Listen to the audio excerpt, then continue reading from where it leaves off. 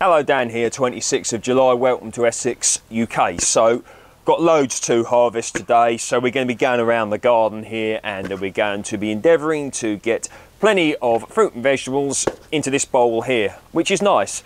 So, we've got tomatoes, we're probably going to be moving on to some climbing French beans. There really is all sorts. But uh, if you like my videos, please feel free to like, share and subscribe.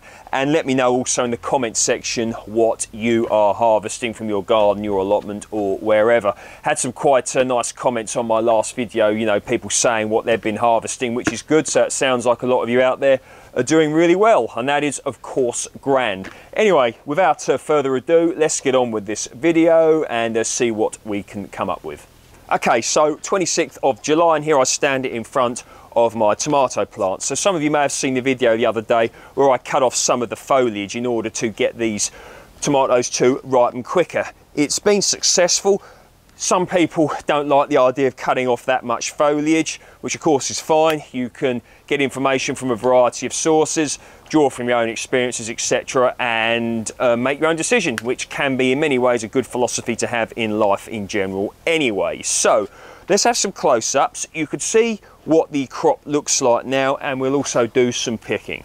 So we'll approach the plants here and um, look at these, look, absolutely wonderful crops there, really good. And you can see I've got a nice fruit set all the way up here, of course.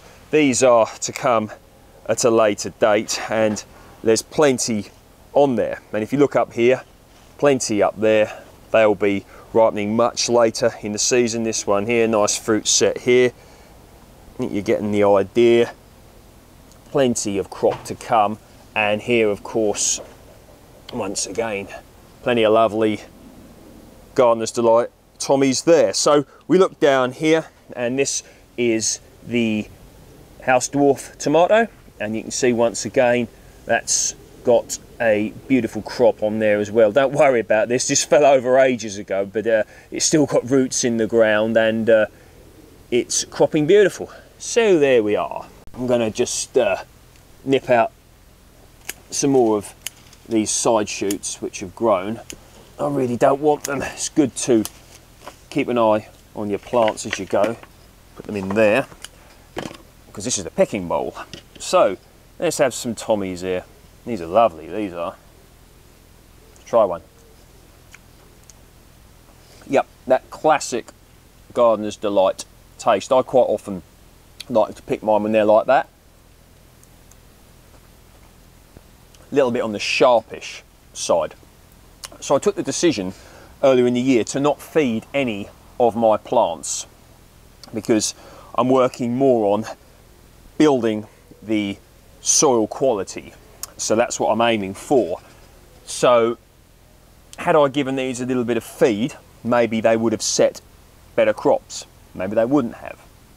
But all in all, I've actually been very happy with how uh, these have turned out. I'll keep working on these, keep picking them. There we are.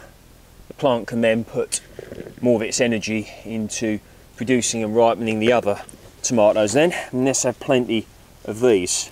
House dwarf tomato. Low maintenance tomato, bred for growing in pots. And uh, once again, a beautiful variety.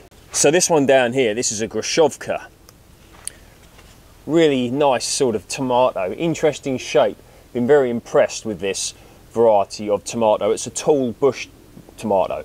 So lovely, there you go. Look at them nice tomatoes there. Probably going to end up eating most of these tonight. Might take uh, some of them to work with me tomorrow in my lunchbox. But uh, make sure you uh, water your tomato plants every day if you can because if you water them all in one go, let's say you don't water them for a few days and you suddenly give them water, the plant can then take up a lot of water all in one go and then that can actually split some of the fruit. And you do not want that to happen and it can be incredibly annoying if and when it does. Anyway, now I'm actually in the mood today or this evening for some carrots as well. And this is a variety of carrot I've got growing in this container down here and it's called the giant red carrot. So that's absolutely wonderful giant red carrot planted on the 13th of March. So what's that? Three, oh, blimey, over four months since I planted these. So let's get these out here and uh, we shall uh, see what little harvest of carrots we got here.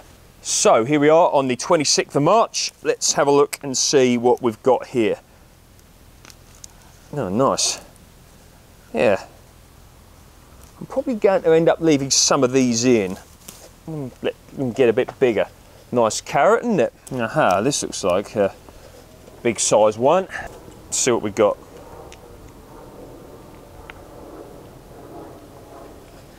Yeah, that is a nice carrot, isn't it? So I've got four carrots here. Now this variety actually has potential to get very big, hence the name giant red carrot. When I grow these next year, I might uh, endeavour to actually grow some giant carrots using this variety, but um, I'm very happy actually, to be honest, with these carrots here, particularly that one. So let's, uh, let me see them, look. I mean, they're a nice carrot, aren't they? There's uh, nothing wrong with them. So I've got two varieties of climbing French beans. So this here is the Cherokee Trail of Tears. Now you might want to do a little bit of reading up on this variety um, in my opinion, it's very important that uh, we keep varieties such as this going. So there's a little bit of reading there for you if you would like to do so. This variety here is called Neckar Gold. Now, I don't know the origin of this. Um, isn't there a river Neckar in Germany? Please uh, let me know. My geography is not that good, but uh, a lovely variety. And the Cherokee Trail of Tears, many of them are ready now. This is an earlier producing variety than the Neckar Gold, which could be described as a mid to late season producing variety. But either way, they're both lovely, and I grew these both last year. So this variety here, Cherokee Trail of Tears, these plants here, I grew them from home safe seed. I grew this last year, saved some of the seeds, and this resulting plant and the crop is from my own home safe seed. So that can be a nice thing to get into as well. But uh, Anyway, let's uh, do a bit of harvesting here. I've already picked some here and uh, let's get some more. So when you're doing your harvesting, really look through the plant, you know, really be vigilant, have a good look. You don't want to leave any on there that are ready because you don't want them to go all stringy and tough and uh, just have a look. This variety has got beautiful purple pink flowers which I absolutely love so it's a really nice ornamental variety as well Lovely pink purple flowers, highly ornamental in my opinion. So black fly aphids, etc. I've got a few of them on my plant here. You may have some as well, unfortunately. Runner beans as well, etc. And uh, what I like to do is squirt them off using this squirter here. You could also use a hose, of course. Be careful you don't damage the plant, the crop, or the flowers. But so uh, what I do is I just squirt them off like this. Ideally, you need to deal with the ants, which quite often farm them. But um, this is a, just sort of a quick fix, really. But uh, don't want to digress too much today. Let's uh, get on with the harvest. That's the uh, harvest there of the Cherokee Trail of Tears. Plenty more to come, which is of course wonderful. So Neckar Gold. Now these are just starting to come, but I'll pick you know a couple of them. They go a lovely yellow colour. And once again, the bean here is very ornamental and they can get quite long actually as well, quite long for a climbing French bean, but yet they still retain their tenderness.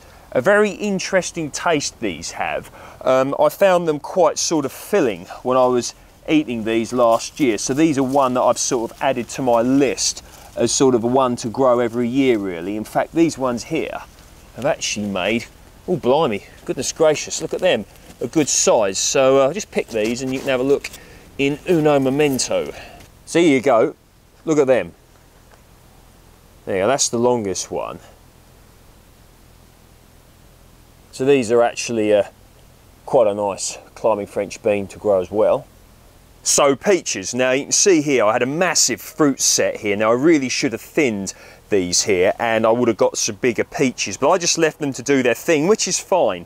And uh, you can see just what a massive crop that I've got here and some of them are oh yes certainly ready. So let's pick some of them and uh, we'll see just what they are like this variety. I mean goodness gracious look how many there are there's probably about 50 or 60 fruits on there maybe even more So this is variety Peregrine, okay? Lovely little peach there, cute. Oh, goodness gracious. That is sweet.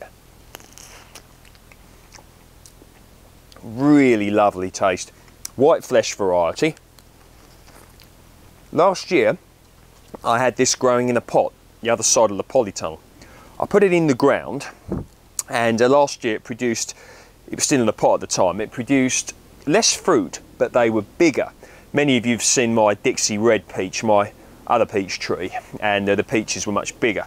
The tree, of course, is much more mature than this one. But this is a really delicious, oh yeah, another one there, look, really delicious variety. So looking over here, this is nectarine variety Lord Napier, and uh, they're not quite there yet, but I found one that could be just borderline ready. So uh, I might be, oh, here we are. Now this one here is starting to soften up now. So we'll pick this and we'll see what it's like. Can see here the beautiful crop that uh, this plant has set. Really lovely nectarines on there. Same as the peach I showed you a moment ago, the peregrine, was in a pot, then I've planted it in the ground here. But uh, let's pick this nectarine here. Right, let's uh, be very careful you don't damage the fruit or the tree. That is a cute little nectarine, isn't it? I probably haven't given these trees as much water as I should have.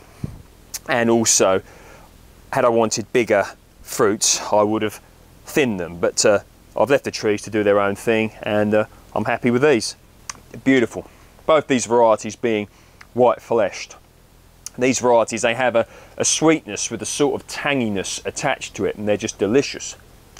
So I'm standing here underneath my Jubilee plum tree. I bought this tree about uh, five, six years ago, something like that. Lovely plum tree. The plums make a lovely size, about the size of a chicken's egg.